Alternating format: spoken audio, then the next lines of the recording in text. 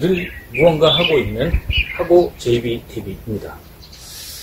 오늘은 음, 우선은 그 어제 예, 투표날 투표를 하고 와서 이제 어, 제가 올 여름까지 키울 작물을 여기다 심었거든요. 그 작물 먼저 소개해드리고 다음 이야기 계속하도록 하겠습니다. 어, 제가 텃밭으로 쓰겠다고 한 요만큼의 공간. 우선은 요만큼의 공간에만 뭔가를 키우려고 지금 계획하고 심어 놨고요.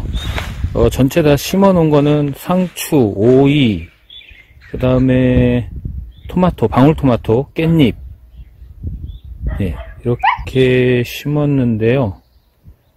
어, 하나씩 잠깐만 보여드릴게요. 여기 이제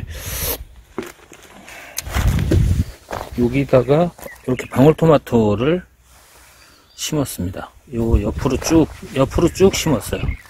이렇게 옆으로 방울토마토를 쭉 심은 이유는 여기다가 이, 이 하우스 대를 타고 어, 토마토 지지대 대신에 한번 어, 이쪽으로 키워보려고 이쪽 옆으로 쭉 심었고요. 그 다음에 이쪽 끝으로는 요게 이제 오이인데 요, 요건 조선 오이요. 조선 오이. 조선 오이를 또 이쪽 그 하우스 끝으로 어, 키워 올리려고 이렇게 심었는데요. 제가 이거를 사면서 모종을 사면서 생각 없이 뭐 2,000원, 3,000원, 4,000원, 5,000원 이렇게 하는 바람에 오, 공간에 비해서 가, 어, 오이를 너무 많이 샀어요.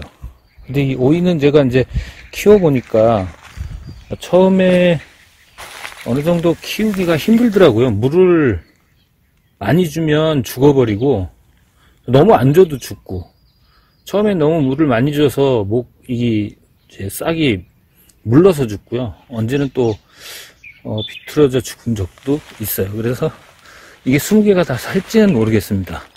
그래도 일단 20개는 심어 놨고요. 그 다음에 깻잎.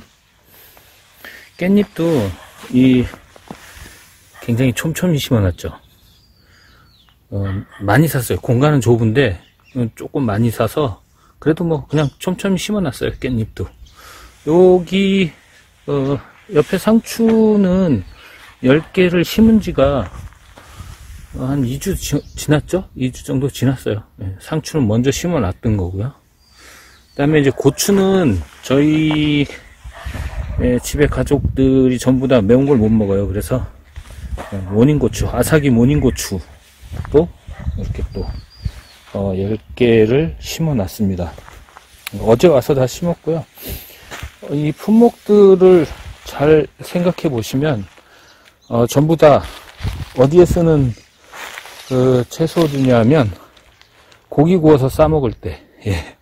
그래서 여기서 키워서 어, 가끔씩 이렇게 고기 구워 먹을 때 아, 뜯어 먹고 또 뭐 조금씩 남으면 집에 가져가서 어 저도 그렇고 이제 그 오이 소배기 김치를 좋아해요. 그래서 오이는 뭐 많이 나면 따다가 이렇게 해 먹도록 그렇게 하고 있습니다 매년. 그래서 올해는 요만큼만 음, 키워볼 예정이고요. 이제 오늘 여기 와서 또 해야 될 일은 아 집에 들어가서 볼일을 보도록 하겠습니다.